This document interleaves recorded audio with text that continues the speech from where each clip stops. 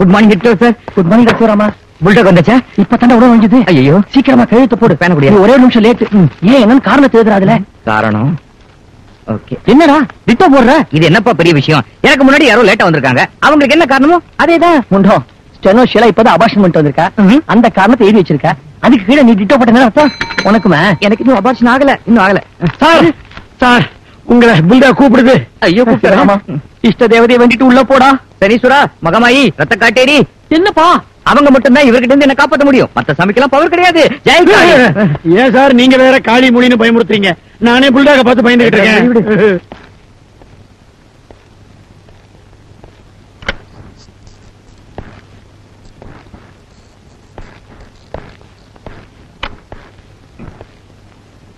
கு- good morning sir கூப்பிட்டீங்களா sir என்னையா டோட்டல் பண்ணிருக்க தப்பு தப்பா? சார் ஒவ்வொரு தடவை கூட்டும் போதும் ஒவ்வொரு ஃபிகர் வருது. எனக்கு அந்த மாதிரி வருதுன்னு தான் நான் உங்ககிட்ட கொடுத்தேன். அதையே நீ என்கிட்ட சொல்ற? சரி சரி உனக்கு டோட்டலா சரியா வராது.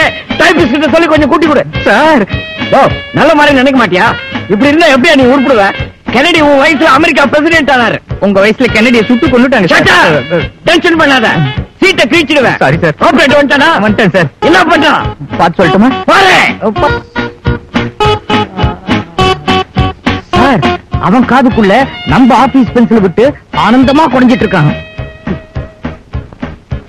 ஆ. இப்ப வலது காதுல இருந்து இடது காதுக்கு பென்சில் போயிடுச்சு! விட்டா காது குடையறத பத்தி ரன்னிங் கமெண்ட் கொடுப்ப போல் இருக்க. டைபிஸ்ட உள்ள கூப்பிட அவள நான்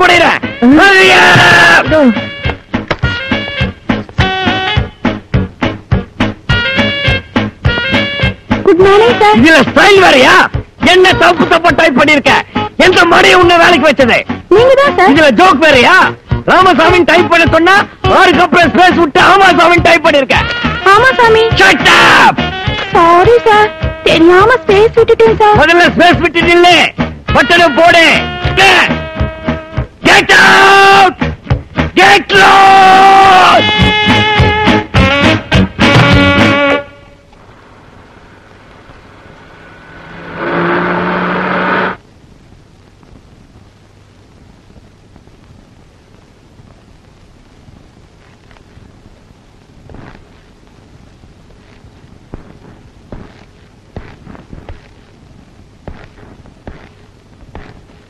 good evening மாமா.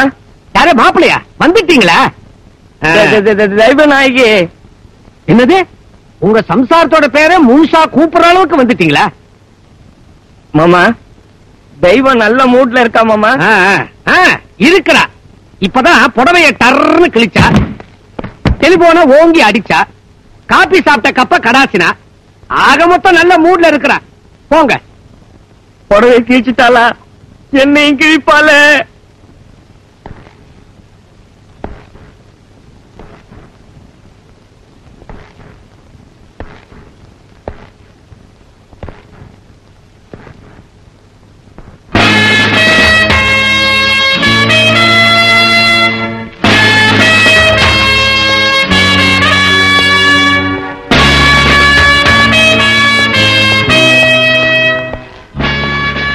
ஈவினிங் தெய்வம். ஏன் லேட்டு? இன்னைக்கு சம்பள நாள் இல்லையா? சம்பளம் வந்திருக்குமே. வழக்கம் போல ஹோட்டல் பார்சல் மாதிரி பிரிக்காம கொண்டு வந்திருக்கேன்.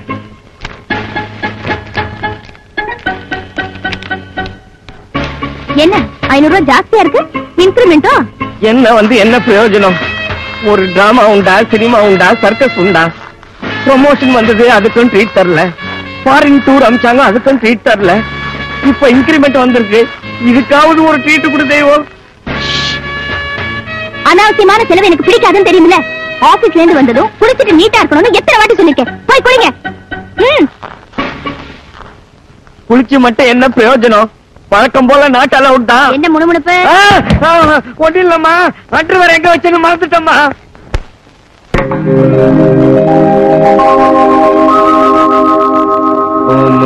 மானிட ஜன்மம் அடைந்துமோர் புண்ணியமின்றே விலங்குகள் போல் காலை பிடித்து பிடித்து எந்த கதையும் நடக்கலையே.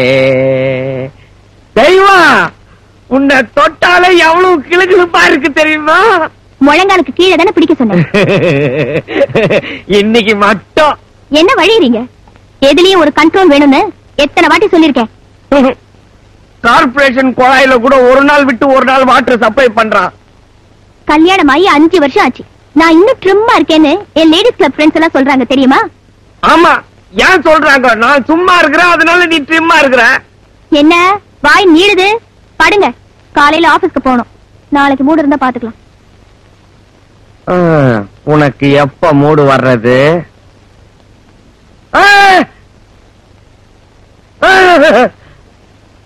அந்த பக்கமே திரும்பி படுத்துக்குவோம் ஆரோக்கியம்? ஆரோக்கியம் எங்க போயிட்டான் இப்ப இந்த ஃபைல் எடுத்துட்டு போடுவேன் ஆரோக்கியத்துக்கு நான் தான் ஸ்டோர் ரூம்ல ஒரு முக்கியமான வேலை கொடுத்திருக்கிறேன். யாரும் பார்க்க மாட்டாங்க. இது ஸ்டோர் ரூம் ஏ ஏரியா. ஒரு பயம் வர மாட்டான் அங்கெல்லாம் தொடாதீங்க. ஏன்? இது உன் ஏரியாவா? என் கழுத்துல மூணு முடிச்சு போட்டதுக்கு அப்புறம் தான் உன் கழுத்து என்ன ஆபீஸ் ஃபைலா முடிச்சு போட்டு உள்ள வைக்கிறதுக்கு.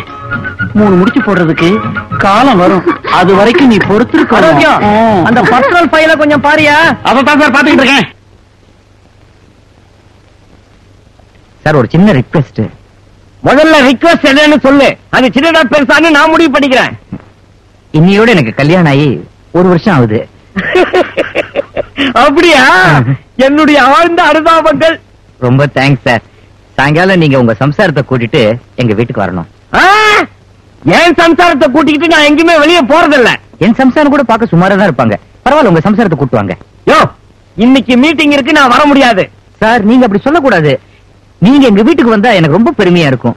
உங்க காலடி பட்டாலே எங்க வீடு புனிதமாயிடும்னு நான் நினைக்கிறேன். மேக்ஸிமம் ட்ரை பண்றேன். நீ வெளியில இரு. கண்டிப்பா வரணும் சார். ஷூர் மனைவிங்கிறவ புருஷனுக்கு வேண்டிய எல்லா சேவையும் செய்யணும். நம்ம கிளப்ல மெம்பரா இருக்கிற ஒவ்வொரு பெண்ணும் சீத பிறந்த இந்த மண்ணை அகலிகை தோன்றிய இந்த பாரதத்தை பெருமைப்படுத்துற மாதிரி வாழ்ந்து காட்டணும்.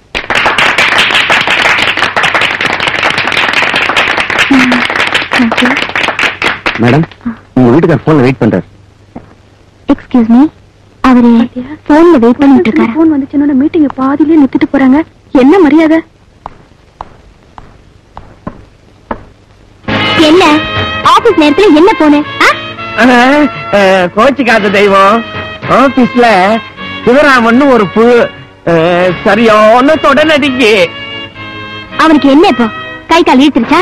அதை விட மோசமான கண்டிஷனுங்க. வெட்டிங் ஆனிவர்சரியா? என்ன கூப்பிடுறான். அவன் ஒரு சபார்டினேட் அவன் வீட்டுக்கு நீங்க போக கூடாது எப்பவாவது ஒரு தடவை சபார்டினேட்ட ப்ளீஸ் பண்றதுல தப்பு இல்ல தெய்வம். சரி நீங்க மட்டும் போறீங்க. எட்டு மணிக்குள்ள வரீங்க. ஏன்னா நீங்க சமைக்கணும் நான் சாப்பிடணும். புரியுதா? தினமும் நான் தான் அதை கரெக்டா செய்யறேனே. நீ வேற சொல்லணுமான்னா தெய்வம் எக்ஸ்கியூஸ் மீ முதல்ல வேண்டான்ன அப்புறம் எப்படி பர்மிஷன் கொடுத்த? ஆ, எப்பயாவது ஒரு தரம் சபார்டினேட்ட ப்ளீஸ் பண்ணா தப்பு இல்ல மணியை இப்படி அடிக்கிறாரு இதுக்கு முன்னாடி மாதா கோயில வேலை பார்த்துட்டு போறோம். அந்த இடியட்ட கூப்பிடுவேன் மொட்டையா இடியட்னீங்கன்னா இந்த ஆபீஸ்ல என்ன தவிர நிறைய இடியட் இருக்காங்க. சிவராமனை கூப்பிடு. பில்கர் இடியட்டா ஃபில்டர்ட் இடியட் அடிக்கட்டின முட்டாள் sir. Shut up and get out! Sir? யோ உனக்காக என் மீட்டிங் அட்ஜஸ்ட் பண்ணிட்டு வர்றேன். தேங்க்யூ சார் அப்புறம் வளகாப்பு குழந்தைக்கு காது குத்து அது இதுன்னு என்ன தொந்தரவு பண்ண கூடாது சார் வரதான் வரீங்க. அப்படியே சாப்பிடுற மாதிரி வாங்க சார். இப்படியே கைய வச்சுட்டு வர சொல்றியா? போய் வேலையை பாரு மேன் தேங்க்யூ சார் வாங்க சார். வாங்க. தேங்க்யூ சார் உட்காருங்க சார் இதான் என்னோட சின்ன குச்சை நல்லா இருக்கு சிவராமா ரொம்ப தேங்க்ஸ் கேஸ் ட்ரபிள் நான் வேணா ஓடி போய் ஒரு கோலி சோடா வாங்கிட்டு வரட்டுமா?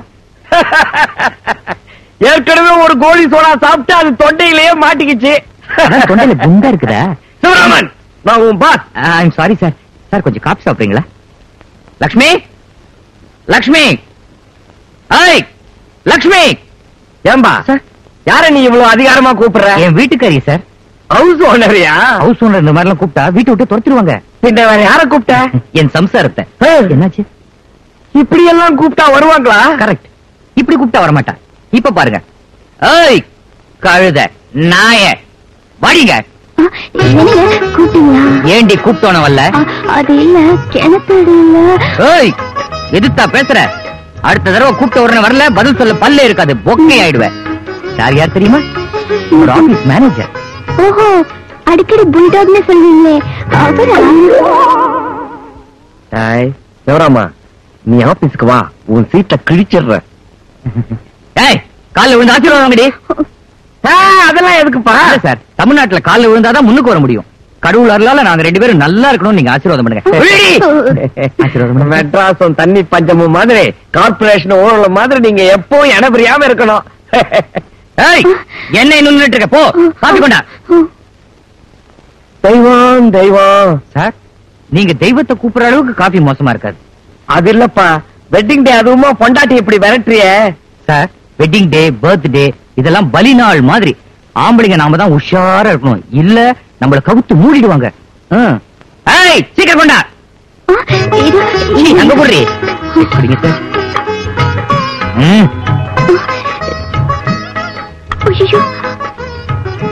என்ன சார் காபில சக்கரை இல்லையா? ஏய் ஏண்டி காபில சக்கரை போடல? இல்லங்க. எதிர்த்து பேசாத.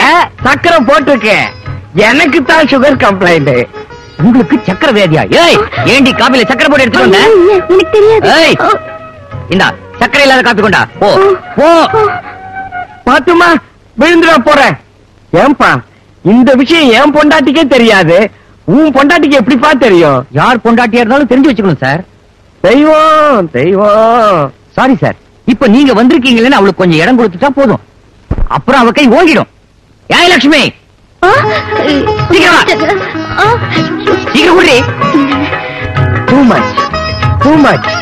இது ரொம்ப அதிகம். அதிகமா இருந்தா பாதியை நான் குடிச்சிடுவேன் சார் சிவராமன் ஆனாலும் உன் பொண்டாட்டியை நீ ரொம்ப விரட்டுறேன்னு சொல்ல வந்தேன் கிளார்க்கு நானே இப்படி என் பொண்டாட்டி அடைக்க ஆடுறேன்னா என் மேனேஜர் நீங்க உங்க பொண்டாட்டி எப்படி கசக்கி புஞ்சிட மாட்டீங்க? தெய்வம் தெய்வம். காபி கொட்டினா? அத புடவை துடைக்கிறதா? குத்தம் குத்து புடவை. பாருங்க சார். படவைதானே உன் செலக்ஷன் ஆமா இங்க எல்லாமே அவர் செலக்ஷன் தான். என்ன கூட அவர் தான் செலக்ட் பண்ணாரு. அதான் கன்றாவியா இருக்கு. புடவைய சொன்னம்பா ஓ. கம்ப்யூட்டர் சாரி ஷிஃபான் சாரி எல்லாத்தையும் விட்டுட்டு கர்நாடகமா கட்டிக்கிட்டு வந்து நிக்குத. கண்ணாடியில் நீ பாத்துக்க மாட்டியாமா கண்ணாடியில எப்படி தெரியுறேங்கிறது முக்கியம் இல்லைங்க. இவர் கண்ணுக்கு எப்படி தெரியுறேனோ? அதாங்க முக்கியம். தெய்வம் தெய்வத்து மேல என்ன பக்தி சார்? சரி டைம் ஆச்சு என்னங்க? என்னடி? அவரை சாப்பிட்டு போக சொல்லுங்க. உங்களை சாப்பிட்டு போ சொல்ற. சமைக்கணும் சாப்பிடணும். தெரியும் சார். அவ சமைச்சாச்சு நாம சாப்பிடணும். சமைக்கணும் சாப்பிடணும். அவ சமைச்சாச்சு நாம தான் சாப்பிடணும். டென்ஷன் பண்ணாத. சமைக்கணும் சாப்பிடணும். ஆமா என்னாச்சு இவருக்கு? சிவராமன் எஸ் சார் இன்னைக்கு சாயங்காலம் நீ என் கூட வர்ற. உன்கிட்ட ஒரு முக்கியமான விஷயத்தை பத்தி டிஸ்கஸ் பண்ணணும். Understand okay sir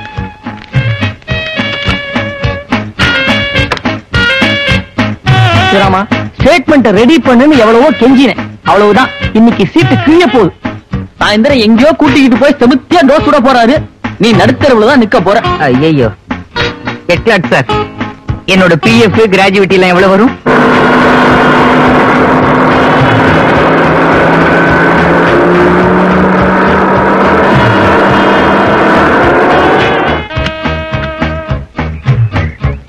Sivaraman.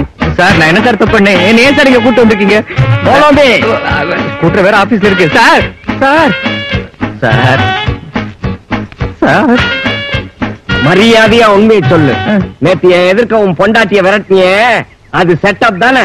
Sir சத்தியமா அது செட்டப் இல்ல சார். நான் தாலி கட்டின சம்சாரம். என் சம்சாரத்தை தான் நான் எப்பவுமே தம் கண்ட்ரோல்ல வச்சிருக்கேனே. சம்சாரத்தை தம் கண்ட்ரோல்ல வச்சிருக்கியா? ஏன் சார் அழுவுறீங்க? சிவராமா உன்கிட்ட ஒரு விஷயம் சொல்லுவேன். அத வெளியில யார்கிட்டயும் சொல்ல மாட்டிய. அழாம சொல்லுங்க சார். நீ வீட்ல எப்படி? புலி சார் புலி. அதுக்கு நேர்மாறா என்ன கற்பனை பண்ணிக்க? அப்போ நீங்க வீட்ல எலியா? சுண்டலிடா. எங்களுக்கெல்லாம் ஆபீஸ்ல சிம்ம சொப்பனமா இருக்கிற நீங்க வீட்ல பொண்டாட்டிக்கு பயப்படுறீங்களா? புருஷோத்தமா ஒரு தம்மு கொடு. என்ன இருந்தாலும் நான் உன் பாஸ் தான். ஆமா என்ன விரட்டுங்க? வீட்ல கோட்டை விட்டீங்க இப்ப மட்டும் தம்மு குடுக்கல. நான் என்னோட வேலையை ராஜினாமா பண்ணிட்டு ஊர்ல எல்லாருக்கும் இந்த விஷயத்த வத்தி வச்சிருவேன். Be careful பல்லபி சிவராமா! சிவராமா! சிவராமா! சிவராமா தயவு செஞ்சு சொல்லுப்பா. எப்படிப்பா உன் சம்சாரத்தை கண்ட்ரோல்ல வச்சிருக்க? அப்படி மரியாதையா கேளுப்பா. புருஷோத்தமா கல்யாணம் ஆகி முதல் ஆறு மாசம் இருக்கு. அது ரொம்ப சோதனையான காலம். அப்ப நாம ரொம்ப ஜாகிரதையா இருக்கணும். அந்த ஆறு மாசம் எப்படி நடந்துக்கணும்? ஆமா இப்ப வந்து மெல்ல மெதுவா கேளுங்க. ஃபர்ஸ்ட் நைட்னு ஒண்ணு வந்திருக்குமே. ஞாபகம் இருக்கா? மறக்க முடியுமா? அந்த ஃபர்ஸ்ட் நைட்ல என்ன பண்ணீங்க? சீ போடா அதெல்லாமா சொல்றது வெக்கமா இருக்கு. அடங்கி கிடைக்கீங்க. அது வெக்கமா படல இது வெக்கமா படுதா? முதல்ல ஃபர்ஸ்ட் நைட்ல என்ன நடந்ததுன்னு சொல்லுங்க. அப்பதான் நான் என்னோட ஐடியாவை தர முடியும். சரி சொல்றேன். ஃபர்ஸ்ட் நைட்ல அவளுக்காக எதிர்பார்த்து அவளா காத்துக்கிட்டு இருந்தேன். அவ வந்தா. சிவராமா தயவு செய்து தெய்வத்துக்கிட்ட இருந்து என்ன காப்பாத்துப்பா. என்ன சார் வேடிக்கையா இருக்கு? எல்லாரும் தெய்வத்துக்கிட்ட போய் என்ன காப்பாத்துங்கம்பாங்க. நீங்க தலைகையா சொல்றீங்களே. அவங்களோட முழு பெயர் தெய்வ நாயகி அதைத்தான் தெய்வம் தெய்வம்னு ஷார்ட்டா கூப்பிடுவேன். அப்ப நீங்க சாமியே சொல்லலையா? நான் மாமிய சொன்னேன்டா. குருநாதா சீக்கிரம் ஐடியா குடுற. அவங்க கிட்ட போய் போனஸ் கவரை குடுக்கணும்டா. என்னது? போனஸ் பணத்தை பொண்டாட்டி கிட்ட கொடுக்க போறீங்களா? என்னங்கடா இது? அது அப்படித்தான். பேய பிசாசு கையில தான் கொடுக்கணும். கவரை பிரிக்காம கொடுத்தா ஒரு ஐம்பது ரூபாய் டிப்ஸ் கொடுப்பா. ஐயையோ என்ன அடக்கம்பா? ஒவ்வொரு ஆம்பளைங்களும் உங்க கால்ல விழுந்து கும்பிடணும். முதல்ல அந்த கவரை கொடுங்க. அட பாவி கிழிச்சிட்டியடா. லேசா பிரிஞ்சிருந்தாலே கத்துவாளே.